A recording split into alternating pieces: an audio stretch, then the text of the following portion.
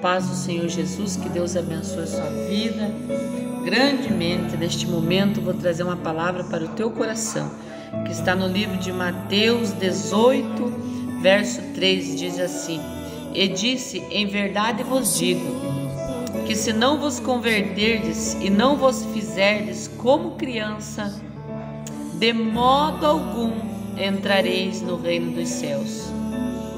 Portanto, aquele que se tornar humilde como esta criança, este é o maior no reino dos céus. E qualquer que receber em meu nome uma criança tal como esta, a mim me recebe. Então aqui Jesus está nos comparando com uma criança. Por que, que Jesus está nos comparando com uma criança? Você já percebeu que a criança ela não guarda raiva, ela não guarda rancor, ela não guarda mágoa, ela não guarda ressentimento. Se eles brigam quando são criança, eles já logo perdoam, no mesmo momento já estão brincando. É assim que Jesus quer que nós sejamos.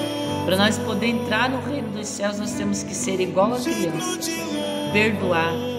Ah, tem muitas pessoas que falam assim: ah, vive perdoando, vive fazendo coisa errada, vive perdoando porque é sem vergonha, não é não. Isso se chama humildade. Jesus Cristo falou: aquele que se tornar humilde, reconhecer os nossos erros, saber que nós erramos, como esta criança, esse é o maior no reino dos céus. Então Jesus quis nos comparar e nos comparou como criança para nós nos tornar humildes e não guardar rancor no nosso coração. Talvez você guarde a mágoa de alguém, talvez você guarde a raiva de alguém, rancor, tristeza, decepção.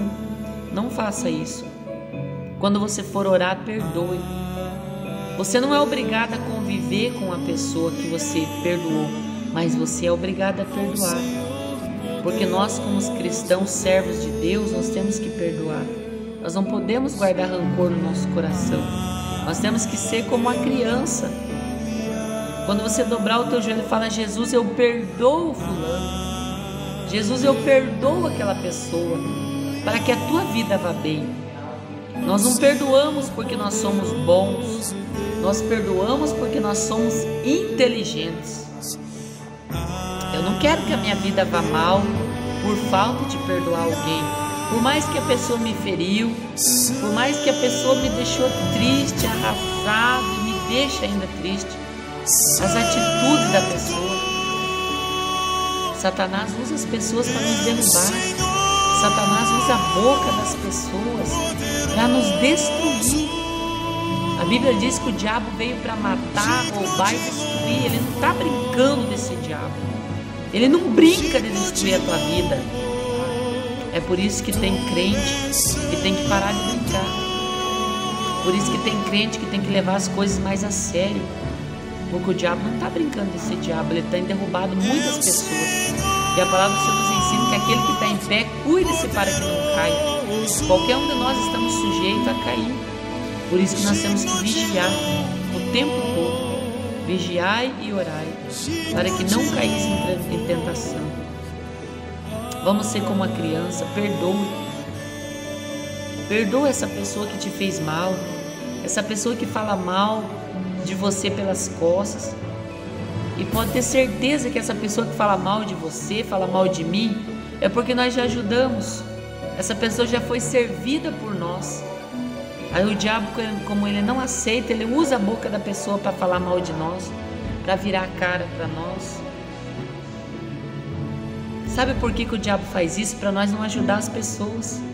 Porque daí você ajuda uma pessoa, para e pensa, você ajuda uma pessoa. Aí a pessoa se levanta contra você. Aí já no teu pensamento fraco você já pensa assim: "Ah, não vou mais ajudar". Quanto mais eu ajudo, mais se levantam contra mim. É claro que o diabo vai tentar te parar. Você está fazendo bem para as pessoas. Você está fazendo bem. Tem muitas pessoas que se desinscreveram desse canal aqui por raiva, por rancor, sabe por quê? Porque eu já ajudei essa pessoa. É muitos ingratos, é muita ingratidão. Mas eu não espero recompensa do ser humano, eu espero a recompensa de Deus. É Ele que me abençoa. Tudo que eu faço de bom volta para mim. Jesus disse: Deixai a paz com aquela pessoa. Mas se a pessoa não quiser a paz, a paz volta para você. Volta tudo para você o que se fizer de bom. Perdoe. Perdoe. Por mais que você não aceite as atitudes da pessoa, perdoe de todo o teu coração. Quando você for orar, fala: Jesus, eu perdoo. Eu vou orar pela tua vida. Verso 18 diz assim: Verdade vos digo, que tudo que ligardes na terra será ligado no céu, e tudo que desligares na terra será desligado no céu. Também vos digo que se dois de vós concordarem na terra acerca de qualquer coisa que pedirem, isso lhe será feito por meu Pai que estás no céu. Porque onde estiver dois ou três reunidos em meu nome, aí estou eu no meio. Deixa eu te falar algo aqui. Nós vamos orar agora uma oração de concordância. Eu vou orar aqui, você vai concordar aí. A palavra nos disse que Mateus 18, 18. Em verdade vos digo que tudo que ligardes na terra será ligado no céu, e tudo que desligardes na terra será desligado no céu. Nós estamos em concordância aqui. Meu Deus e meu Pai, querido Deus e eterno Pai, neste momento, Senhor, nós entramos em concordância, Pai, com esta pessoa que está me assistindo. Meu Deus e meu Pai, que o Senhor venha abençoar nossa vida, Pai. Que o Senhor venha tirar toda a tristeza, todo o rancor, Pai. Toda a dor, Pai, que esta pessoa tem no coração, Pai, de falta de perdão. Todo o rancor, Pai. Que todos aqueles que se levantaram, Pai, contra a vida desta pessoa, que venha cair por terra em nome de Jesus. Deus Todo-Poderoso venha desfazer toda a obra do mal todos aqueles que têm se levantado, Deus, contra esta obra, contra este ministério, contra esta vida, Pai, que está me acompanhando agora. Pai, nós estamos em concordância agora. É no nome do teu filho Jesus Cristo. Venha repreender, Senhor, toda ação do diabo contra as nossas vidas. Meu Deus, Satanás tem se levantado, Pai, mas para cair por terra porque o Senhor é poderoso para quebrar. Pai, nós estamos em oração, Pai, em consagração neste momento, para pedir que o Senhor venha nos revestir com teu sangue, venha nos cobrir, Pai, com teu manto sagrado, venha derramar, Senhor, o teu poder, a tua graça, a tua bondade, Pai, sobre as nossas vidas. Meu Deus e meu Pai, nós concordamos agora, Deus, com esta pessoa, que a bênção do Senhor está sobre nós. Bênção do Senhor está sobre a nossa vida, sobre a nossa casa, sobre a nossa família, sobre os nossos filhos, sobre o nosso trabalho, sobre o nosso ministério. Papaizinho querido, ajuda esta pessoa a perdoar.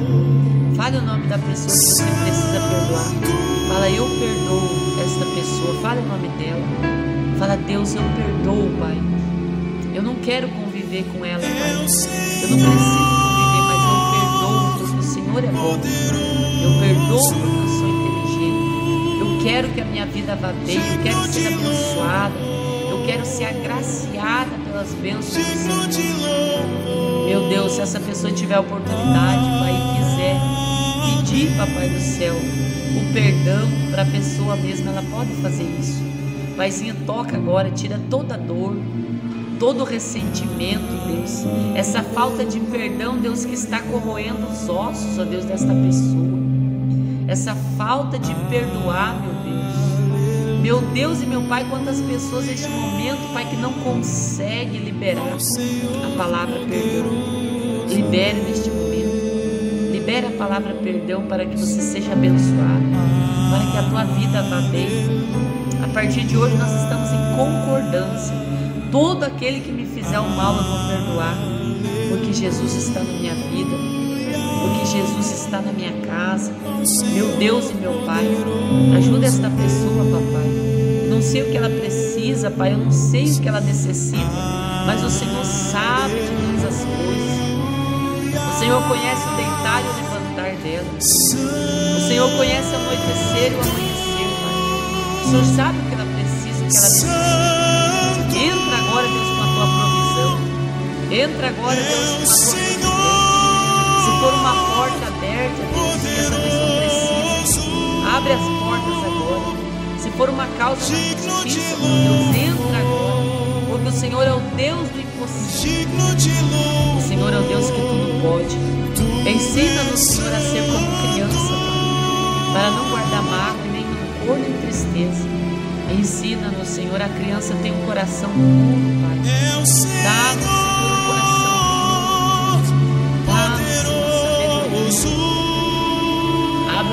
nossos olhos, Pai.